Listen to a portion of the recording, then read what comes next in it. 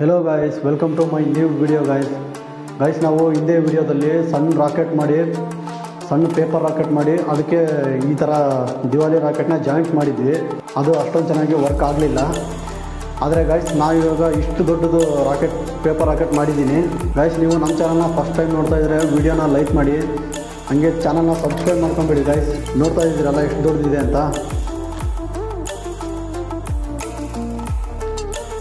ಇದು ತುಂಬ ಸಿಂಪಲಾಗಿ ಮಾಡೋದು ಗಾಯ್ಸ್ ಇದು ಮೇಲೆ ಹೋಗುತ್ತೋ ಇಲ್ಲ ಅಂತ ನೋಡೋಣ. ನನಗಂತೂ ಇದು ಮೇಲೆ ಹೋಗುತ್ತೋ ಇಲ್ಲ ಅಂತ ನನಗೆ ಗೊತ್ತಿಲ್ಲ.